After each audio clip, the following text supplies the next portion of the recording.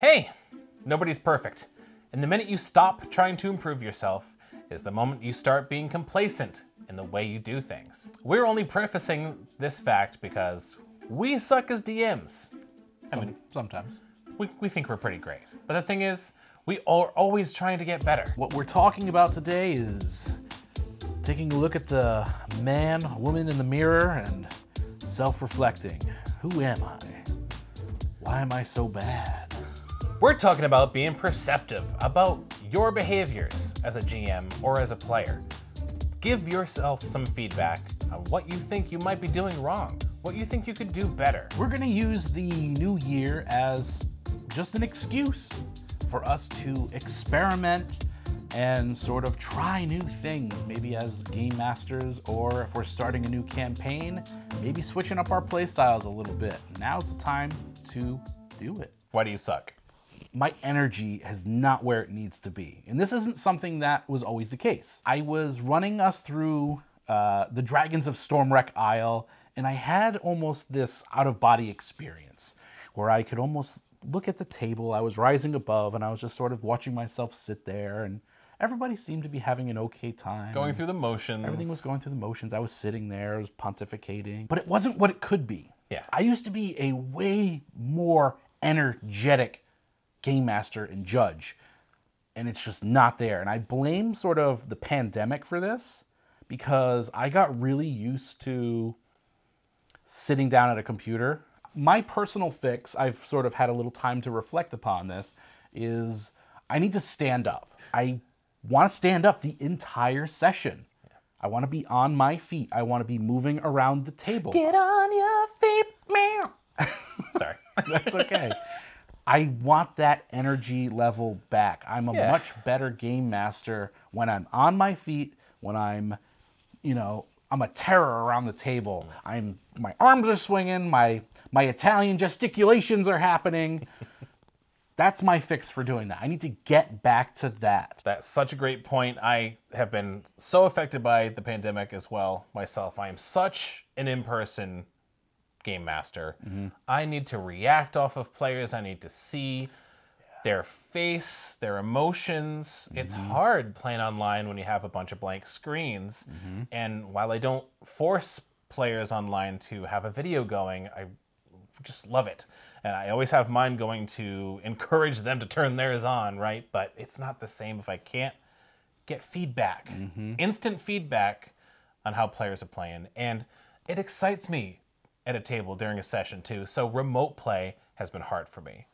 And that's where one place where I want to improve is I just want to practice more remote play and try to find substitutions for what I did in person and experiment with remote ways to recreate those effects, like standing up. I feel like I could even stand up at a standing desk, and just me standing up has the right blood flow for my energy level to be up.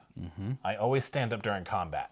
Yep. I always make the division of sitting down during the table during exploration and any kind of role playing, right? But if as soon as excitement peaks, I stand up, combat, or any kind of uh, exciting role playing encounter there might be. But yeah, it's just practicing more remote techniques is on my list. It's literally for me. It's almost twice the amount of prep uh, because you have to prep all of the table virtual tabletop stuff on top of your normal prep for me, and that's If you're not doing theater of the mind, you're expected to come out with these elaborate battle Yep. maps on Roll20 and have assets ready and uh, maybe have some things in the journal to toss at your players every now and again. And, yep, Um, which is fun. Yeah. You know that that that's what piques players' engagement Yeah. and stuff. Is you throw this journal that you can actually read and everyone can see it, but then it's like it's awkward because like, can you guys see that? Can- You know, can, can you see that? all the technical difficulties that come with it just aren't a Well, piece you're of you're an immersive gamer. Yes. So anytime that anything that breaks your immersion, you're just like, and I know I know that about you. You just you you don't want that. You don't want that to be destroyed. no. And in the technical the technical side of remote play, I can see. Yeah, that's. But like you said, you just got to do it more. Yes. My main focus this year will also be learning to run one shots quickly. I feel my pacing has improved over the last few years. You need to know when to pinpoint those lulls and when players are becoming bored with something, or even when I'm becoming bored with something. if I'm becoming bored, then players will start becoming bored. I've learned to recognize that earlier and can Yeah. just be like, okay, well, uh, that NPC closes up shop. Well, that's that's the end for the day. You're gonna have to get out. All right, I, I gotta close up. You know, and Mm-hmm. You pivot- pushing players along. Yeah, you pivot to a different pillar Yes. because you've mentioned that that sort of excites you when you go from like role playing to maybe there's a, a chase sequence or something that's immediately picking up the pace and just changing what's happening at the table. As a player, I feel stale in any one pillar at any one time. If we're in the middle of combat and it takes the entire session, I'm okay with that. But as long as next section we get to do something different, that piques me, you know. But Yep. during three hours and doing combat the whole time is hard for me. I'm an ADD gamer. I'm a mm-hmm. Twitch gamer, video gamer, and I play Smash Brothers because I need instant gratification in fights. Like, mm-hmm. so that's just me as a player. That And I can also, think of. I wanted to just increase my repertoire of learning rules and new rule systems. Um, Welcome to my world, Kmo. I read a lot of rule systems. It's scary. But I but I'm a I'm a junkie. Like I I have so many different games. But thankfully we, thankfully we have this YouTube channel to start going through some of them. So uh, be on the lookout for that. What about player stuff? Yeah, if I'm being introspective here, thinking about player stuff, uh, believe it or not, my biggest flaw as a player is I'm sometimes like the court jester at the table, which is you really wouldn't think so because like a game master should know better. Yeah. But Especially if you pick a character that is the comedic relief. and not even that. Like sometimes I'm the guy that's just like, oh hey, like it's like you're really trying to set the mood and it's scary and this and that, and like I'm just the one that I. I'm making an out of character. I'm as a player. I'm just like cracking a joke. Being a goof. Yeah, yeah, exactly. I love getting people to laugh, and I know you do too. Uh, There's no better feeling. Um, you know, game- Part of playing the game is just having fun anyway and having laughs. Of course, of course. Part of me is just like, all right, you're you do this. You you're the one running games a lot of the times. Like just chin up.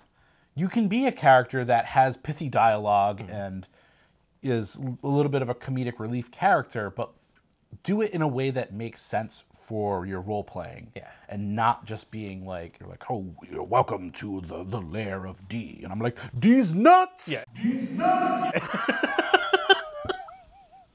you know, like and you're like, I fucking hate you. I feel like every player does that. It- Of course, I know, but I, but it's I wouldn't want it to happen to me as a game master. Yeah, the problem that I feel like is too much. When you're a game master and you're sitting there and you're trying to get through an adventure and you want people to be invested into it, and mm-hmm. all one person can do is continuously crack jokes because they're anxious Yeah. or whatever. They feel like they need to break the tension all the time. That's No, I don't. And do you're that. not that. No, I don't do that. you're far from that. but it is. It's just. It's a bad habit that I just kind of want to really just sort of stamp out this year.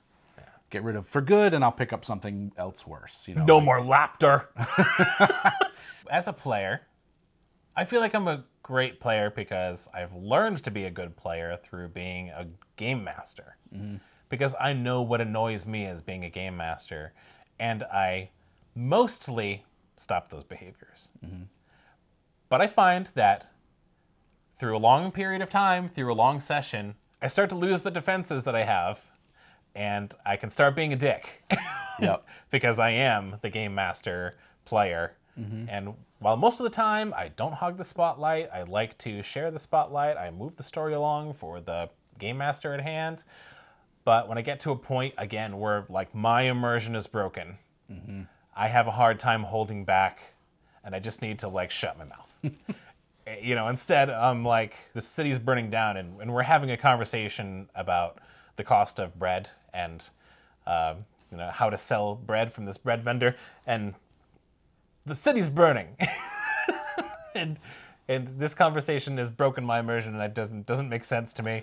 Um, then uh, you know my character will either say something in character, pretty witty to the situation, and uh, passive aggressive. But that's what I got to be careful of.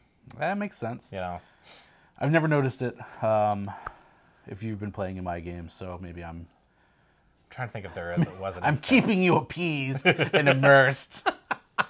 Feed the Kamo monster, otherwise he he gets feisty. Well, how will you fix that? How will you f- just? Is it just sort of you just trying to rein that in? How do I fix it? I I, I got to be. Oh, you know what? I got to turn it into something different, right? Instead of like holding it in because like that's never good. I, you turn it into something more uh, constructive.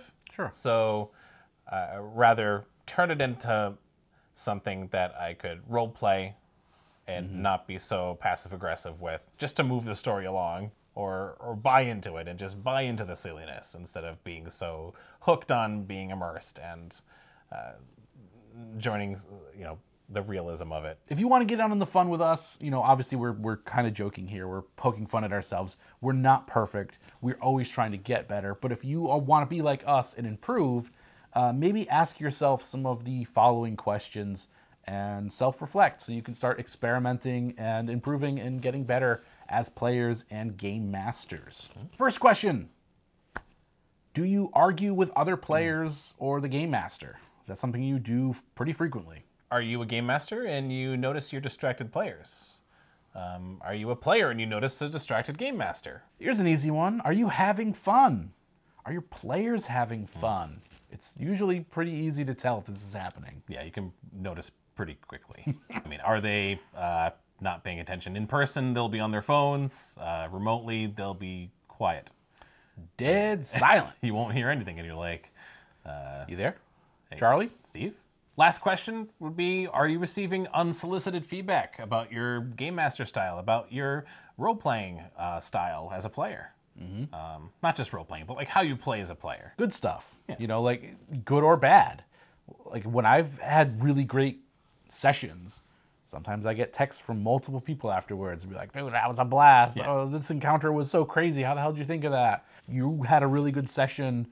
Like when you were as a player, I'd be like, dude, when you did that, I was like loving it. Like just stuff like that. Like it'll co- like trust me, it's it's not prompted. It's just people are kind of gushing about everything that happened in the session because when you have those like Goldilocks sessions where everything is just right there, it's perfect, and the game master's kicking it off, and the players are engaged, stories popping off.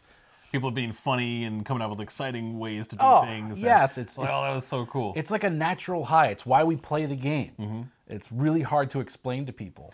That's good confirmation that you're doing things right, Yes, if Right. you're getting that kind of stuff, you're probably in the right direction. and you find your strengths. Don't ever think you're perfect, because we're certainly not. Hmm. Just because we're sitting here yapping to you guys and we have a YouTube channel, we're not gods. We're not perfect. We just like to talk about this stuff. We love these games, and we love we love having conversations with y'all about them. Is really what it boils down to. That's why we want to hear what your game master and player resolutions are this year. The new me in 2023. Who are you? What are you doing to get better? We want to know. Thanks for watching, everybody. We appreciate you. Have a good 2023. Play as many different role playing games as you can. Get freaky deaky with your shelves. Pull off them dusty tomes. and Play something off the beaten path. A lot more new and surprising content coming out from us in the next couple of weeks. Like, subscribe to Basic Liches for more. Bye bye. Later, Liches.